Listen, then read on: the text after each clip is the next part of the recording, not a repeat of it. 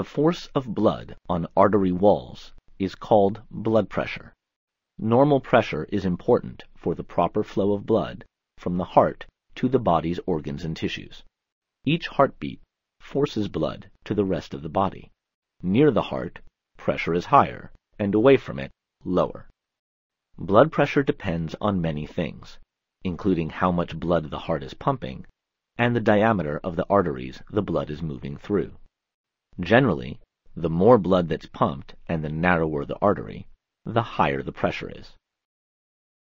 Blood pressure is measured both as the heart contracts, which is called systole, and as it relaxes, which is called diastole.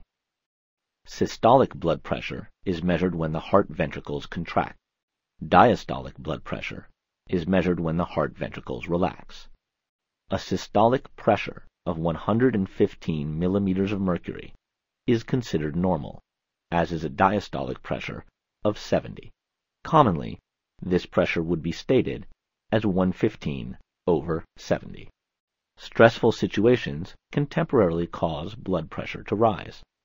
If a person has a consistent blood pressure reading of 140 over 90, he would be evaluated for high blood pressure. Left untreated, high blood pressure can damage important organs, such as the brain and kidneys, as well as lead to a stroke.